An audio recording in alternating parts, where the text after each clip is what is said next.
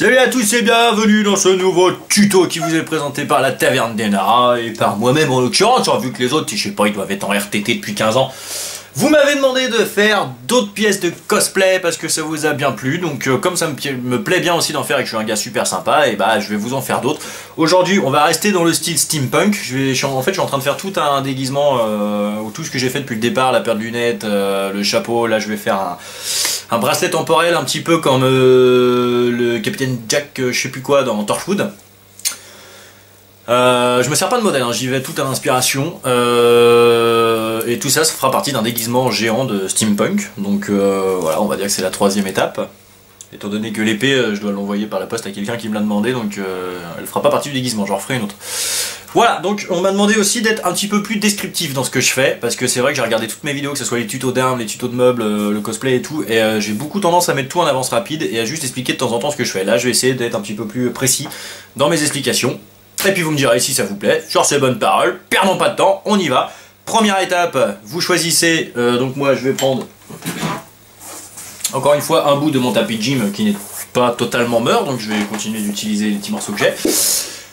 Pendant ce temps-là, euh, pendant qu'on va faire le traçage et la découpe de la pièce principale, je vous encourage euh, fortement à commencer à faire chauffer le pistolet à colle et à faire préchauffer votre four parce qu'on va en avoir vite besoin. C'est parti, le traçage et le découpage du bracelet en lui-même.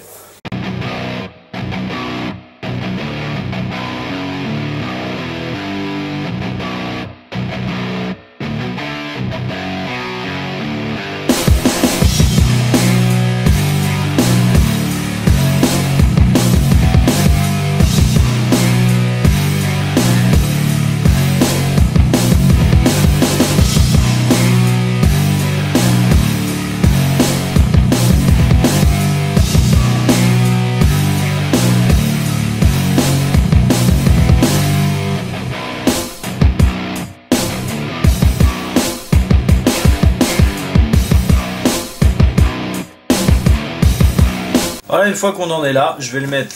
Euh, oh, c'est joli Encore une araignée. Je vais le mettre euh, dans mon four, à peu près 15-20 secondes. Et en le sortant, je vais juste le garder plié un petit peu comme ceci. Pour que les bracelets prennent euh, directement la forme ronde et qu'une fois que je l'accroche, ça pendouille pas vraiment bêtement. Donc voilà, je vous montre pas ça, hein, vous le mettez dans votre four et après Voilà, donc directement sorti du four, déjà vous avez vu, il prend une forme plate, mais moi c'est pas ce que je veux, je veux qu'il soit comme ceci. Hop, tranquille ou bilou, on le chope. On le maintient un petit peu dans une forme arrondie. On attend quelques secondes. Là, je le gonfle un petit peu aussi en haut pour qu'il prenne l'arrondi de mon bras, qu'il reste pas vraiment euh, plat quoi, pour que ça fasse pas moche, t'as vu?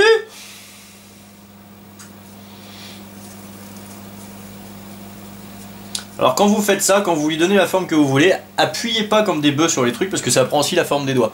Donc si vous voulez pas qu'il ait une forme euh, toute moche de vos doigts, donc voilà, vous avez vu, ça va quand même relativement vite. Là, il a la forme que je veux, c'est bon pour moi. Maintenant, on va aller récupérer des touches, soit d'une vieille calculatrice, ou d'un vieil ordinateur, d'un vieux clavier, c'est vous qui vous... prenez ce que vous voulez. Moi, je vais prendre des touches d'un vieux clavier. J'en ai pris quelques-unes, moi ça sert à rien de, partir dans quelque chose d'énorme parce que je sais que mon bracelet sera pas très très grand. Maintenant, je vais les dispatcher de façon à ce que je veux qu'ils soient, tout simplement. Pas très français ce que je viens de dire. Donc j'en ai pris de, de différentes formes hein, pour donner un style euh, un peu, un peu sympa, dirons-nous.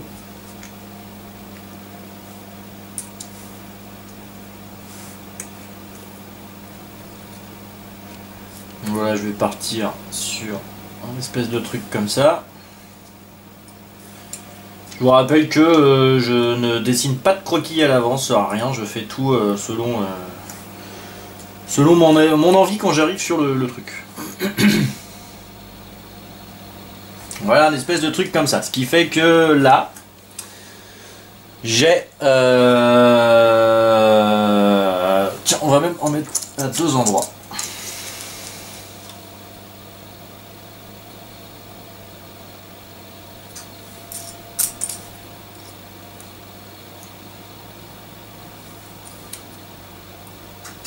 Voilà, on va faire un espèce de truc comme ça.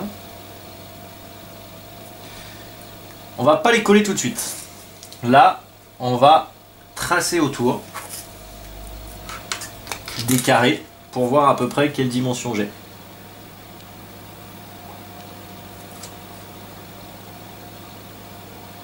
Donc on essaye de faire à peu près droit. Après, bien sûr, vous, pouvez faire avec une règle, etc. hein, mais moi, j'aime bien, euh, j'aime bien tout faire à l'œil.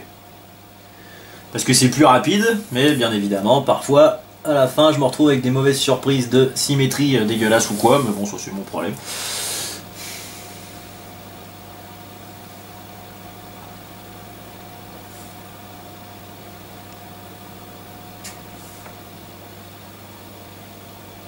Voilà, donc ça donne à peu près ça. Maintenant, je vais couper autant de petites languettes. Donc, on va faire vraiment fin. Pas très large, quoi. Moins large que ça, par exemple. Pour faire mes deux carrés. Enfin, mon rectangle et mon... Enfin, mes deux rectangles. Donc, je vais couper 1, 2, 3, 4, 5, 6, 7, 8 languettes à la taille de mes traits.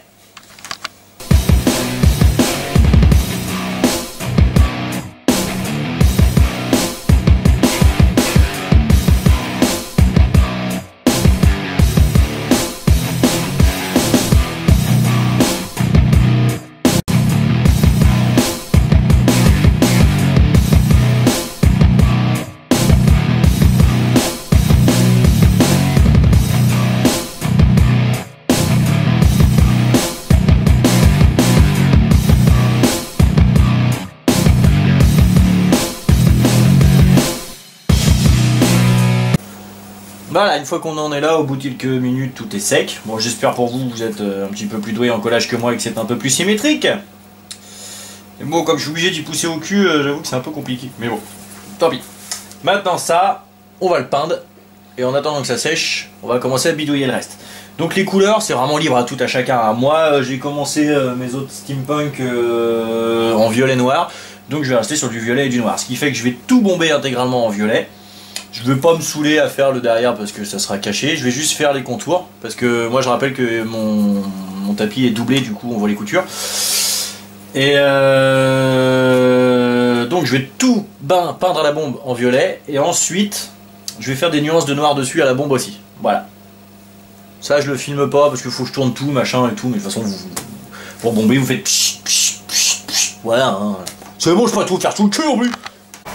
Bon, à partir de là, c'est là que ça devient intéressant. Chacun va choisir ce qu'il préfère. Moi, je vais démanteler un ancien PC portable pour voir un petit peu ce que je peux récupérer dedans qui va finir accroché sur mon bracelet. Vous pouvez démonter une vieille télécommande, un vieux magnéto, euh, une vieille caméra, euh, un vieux baladeur CD, cassette, ce que vous voulez. Le principal, c'est d'avoir du, contenu euh, électronique qui vont donner le genre futuriste de notre bracelet steampunk.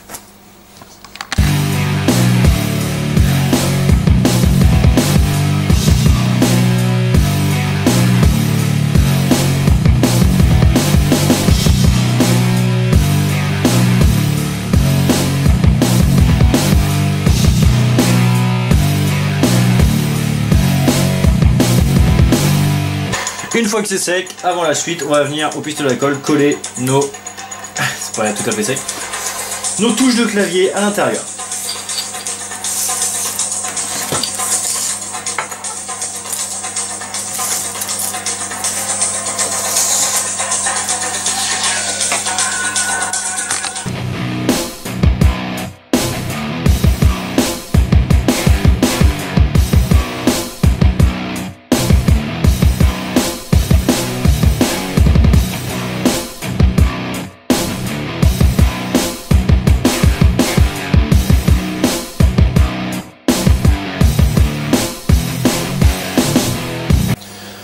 Alors si je peux me permettre de vous donner un petit conseil, faites pas comme moi et attendez vraiment que la peinture soit sec, ce qui évitera de foutre de la peinture partout sur vos touches et d'être obligé de les nettoyer après.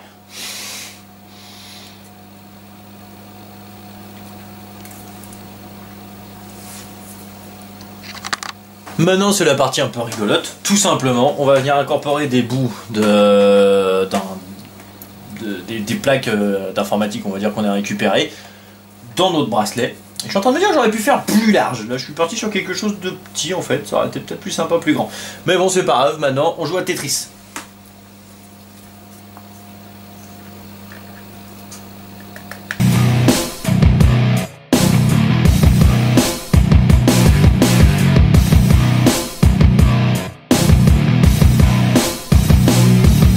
Alors ce qui est marrant dans le fait de y aller au feeling, de ne pas faire de plan avant, c'est que là par exemple, je viens de me rendre compte que ce petit coin là, je l'aime pas.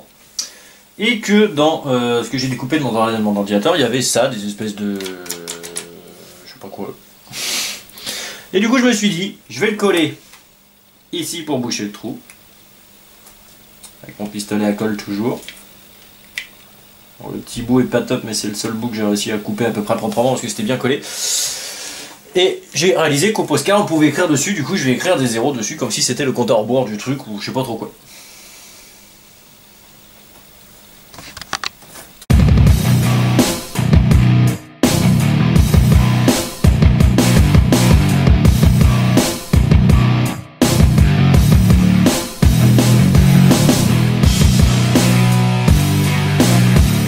Fois qu'on en est là, on va passer à la partie que j'aime bien, la partie fil électrique. Dans le steampunk, on en fout partout, ça rend bien, c'est pas cher. On va prendre un tout petit fil tout fin et on va venir en coller un petit peu partout.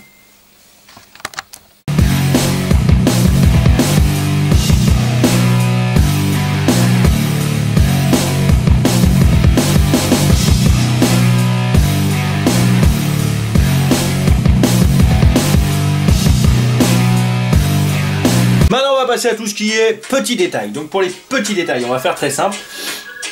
Comme il y a des petites vis que j'ai enlevées de mon ordinateur, je vais tout simplement percer des petits trous à l'endroit où je veux les mettre avec un clou avant, mettre un petit peu de colle et enfoncer le vis. Si j'avais pas trouvé les petits vis, j'aurais mis tout simplement des attaches parisiennes pour donner l'effet boulon. Et je vais, avec un simple marqueur, mettre des nuances de noir un peu partout pour enlever un petit peu le violet.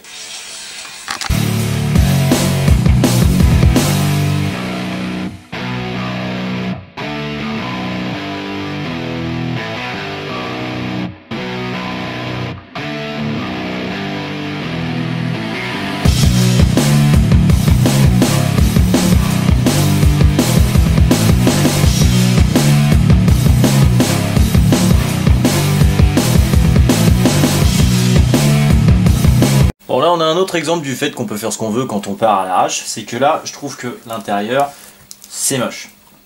J'ai mal peint en feutre, j'aurais dû peindre avant de mettre mes touches, et mes touches sont super crades, donc je vais enlever celle-là, finir de mettre mon noir en marqueur, et recoller des nouvelles touches toutes propres, qui seront un petit peu plus jolies. Et ouvrir à mon chien. Par exemple, je pourrais très bien aussi ne pas du tout mettre de touches, mais mettre ce genre de choses. Avec ma petite tige métallique que je couperai ou dans laquelle je ferai repartir un fil, etc. Faites marcher votre imagination les enfants